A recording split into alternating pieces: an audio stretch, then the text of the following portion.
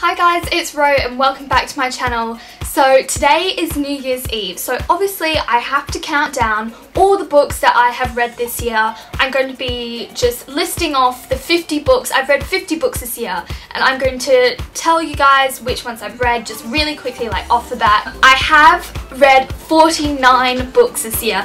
I am currently reading the last one. And the Goodreads reading challenge ends today. I have to finish the book I'm currently reading today, otherwise I'm not going to finish it, but I reckon I will. That makes 50 books that I have read this year. I'm pretty happy with the goal.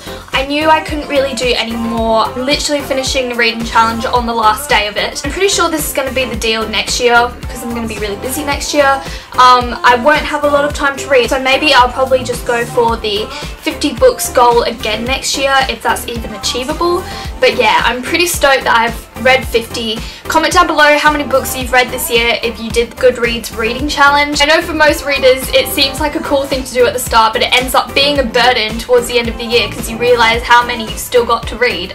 Um, so yeah, I'm gonna go off and tell you guys the books that I have read in 2016. Game of Thrones, The Clash of Kings, The Collector, Corrupt, Passenger, Lady Midnight, Glass Sword, Burning Glass, The Court of Mist and Fury, Rebel of the Sands, Air Awakens, Fire Falling, Poison Study, The Summer I Turned Pretty, Fallen Angel, Red Rising, Golden Son, and Morning Star. Empire of Dust, Beauty of Darkness, Hunted, Chosen, The Paper Swan, Stolen, A Letter to My Captor, Wanderlust, Jane Eyre, Empire of Storms, Touch of Power, Bully, Stalking Jack the Ripper, Queen of Someday, Queen of Always, Queen of Tomorrow, Aflame, The Demon King, The Exiled Queen, The Grey Wolf Throne, The Claiming of Sleeping Beauty, Beauty's Punishment, The Crimson Crown, Punk 57, American Queen, The Star Touched Queen, The Taming of the Shrew,